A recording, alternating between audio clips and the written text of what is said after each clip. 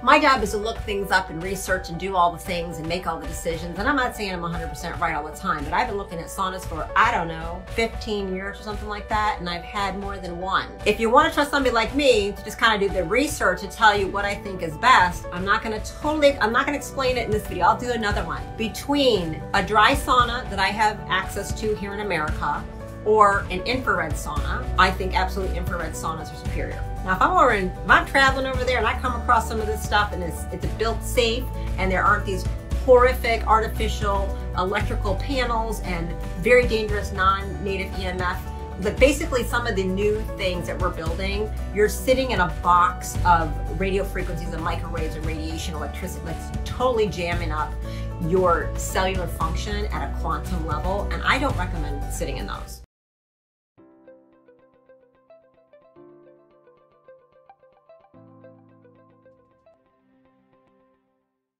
Hi, it's Dr. Rimka, your brain optimization experts, coming to you from Brain and Body Solutions and brainandbodyrevolution.org. Okay, did you read the title? I want to know do you actually know how you can reduce your risk of Alzheimer's disease by 60% without ever getting dressed? Huh? Now, here's the thing I'm a woman and I'm blessed with the breasts. But if I was a man, I would be sitting here topless and naked, and that would make this such a better video. But since I'm not really going for that type of attraction marketing on my videos for you guys, I'm on, I do have a shirt on. I'm not topless, so I'm not totally naked. But you can reduce your risk of Alzheimer's Alzheimer's disease by 60% without ever getting dressed. And did you know that? And do you know how? And then I want to actually ask, why the hell don't you? Why isn't anybody telling you what the studies are showing? Okay, but I think that's what I'm here to do. So let's talk about it. I'm worried about people's brains and protecting their brains and things like dementia and Alzheimer's that are coming in and ripping people apart from lifestyle things. It's not about you're going to get that because you get old. You can be stopping this with the laziest thing on earth. It also does other stuff. Let me tell you what it does, okay? And I'm doing it this way for a reason. Okay. You can decrease heart attack risk by up to 63%. Heart attack is the number one killer in America right now. And you could be preventing it by 63% by staying naked and just sitting lying around. Did anybody tell you that? Because here's the thing, I'm going to give you a couple more numbers, and then I'm going to tell you what my mission is with with what I'm doing with the revolution.org. Um, stroke decreased by 60%. Hypertension decreased by 50%. Increases heart rate variability, which is a really great number that I use biofeedback, and people pay a lot of money to know how to do this in my practice. And it, that's a your heart's ability to manage stress. It's a stress related heart response to autonomic nervous system input. Um, so there's just some basic numbers from, from a small amount of studies that have been done on a very large number of people that heat stress from frequent sauna baths will give you. So you, again, it said if I was a man, I'd be straight up naked, but again, I don't want to go to jail. So we're not going to do that today. But those are some numbers. I wanted to write them down because I thought they were really profound. We're looking at 60 and 63% in some of these, these pathologies. So most of the studies are done on a regular dry sauna that we would call a Finnish sauna, just so you know. And it's kind of the way people have been doing things a long time. But basically, sitting on your butt, sweating four to seven times a week for 20 minutes. Frequency matters. If you do it only two to three, your the risk is much lower for all those numbers. So I gave you the top is if you're doing four to seven times a week and the duration of hitting 19 minutes was, was a magical thing. Just 20 minutes. Doesn't mean you got to stay in there for an hour, you guys. Frequency and duration mattered. Four to seven times a week. 20 minutes. Sitting in a hot box. I know a lot of you got a lot of hot boxes you want to use and you aren't, so you might as well buy a hot box and just get the results you want, okay? Protect your brain, protect your heart, and all the things. Now, why don't you know this? I don't know.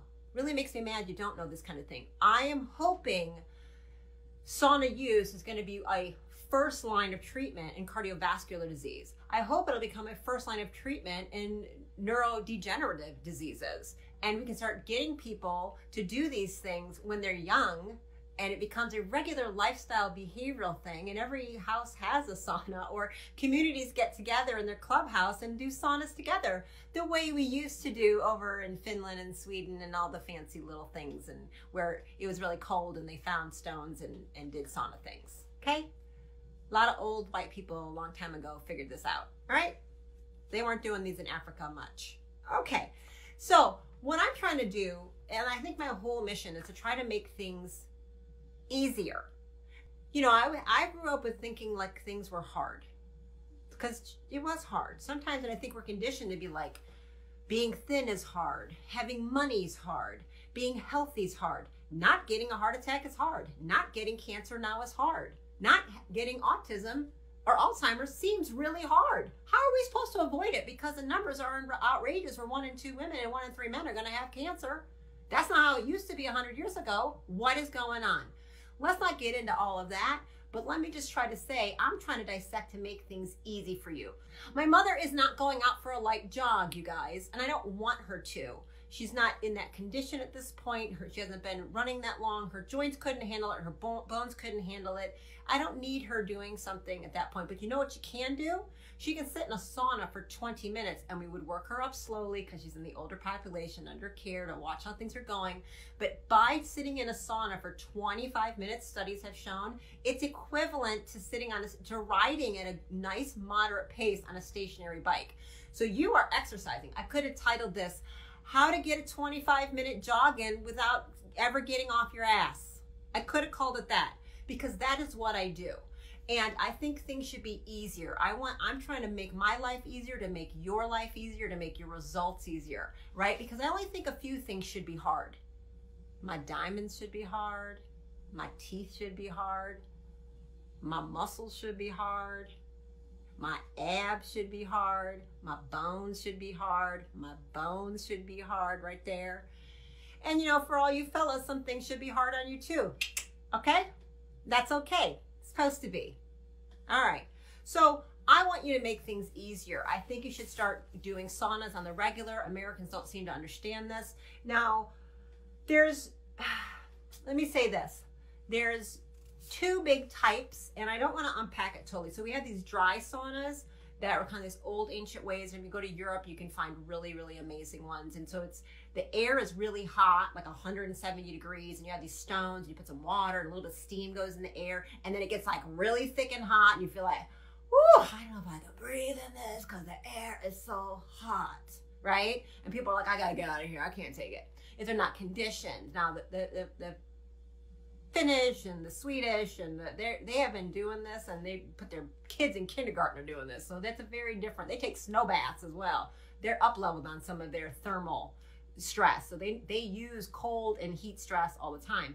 This is a form of heat stress that the body has an amazing cardiovascular response to. It's super anti-aging. It improves your cardiovascular health. So you're fighting off cardiovascular disease, you're fighting off brain degeneration, you're having an artificial exercise activity. When I go inside my sauna, it's like I'm I'm working out. But not. Okay? I don't have to jump around, shake around. My joints are fine. My, I don't have to put on three bras because as a woman, it's about two every time to contain it. I don't have to do that. I'm just naked and sweating. Huh? I get the exercise benefits. I get the cardiovascular workout. I get the brain detox and dump. It's amazing. So I'm not even getting to all the benefits, but that's that's all was there. Now, so you have those dry kind of saunas, you put the coals on, and then you have infrared saunas. So the dry sauna is the ambient air is getting hot. You're like, I can't breathe. I can't breathe. It's so hot. Okay? The air is hot, and then that makes you hot. In infrared, whether it's far, uh, middle, far and middle, full spectrum, far, middle, and near infrared, near infrared, whatever. We're to talk about all those three different kind of types in the infrared category.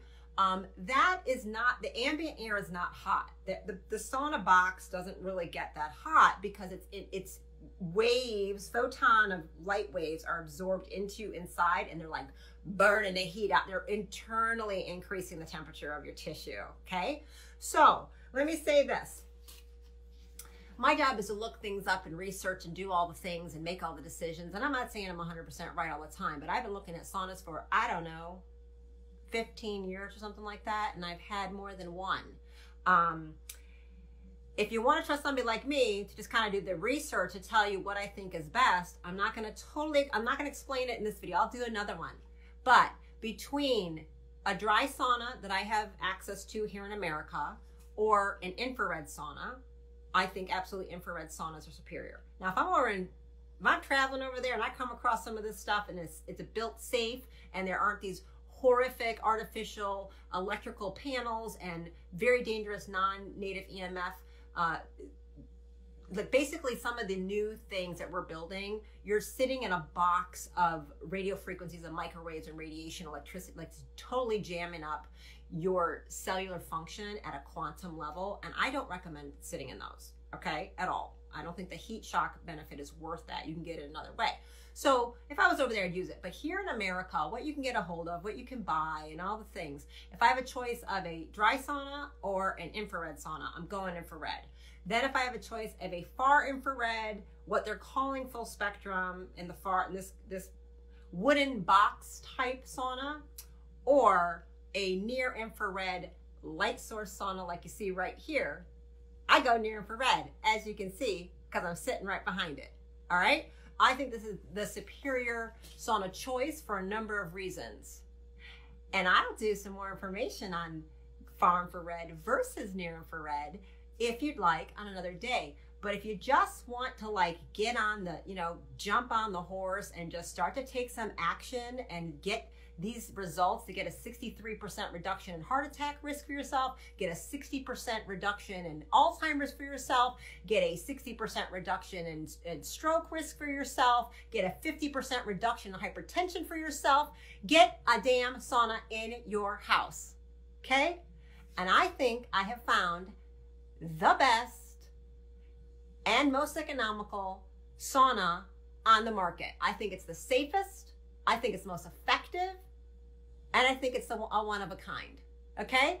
So if you send me a message or drop down a comment, that's totally okay. Give us time to get to you and all my assistance to be given you. But I will send you, we will send to you what I have researched over the years, my number one choice in purchasing a sauna as well as the sauna I used to own and left behind and why.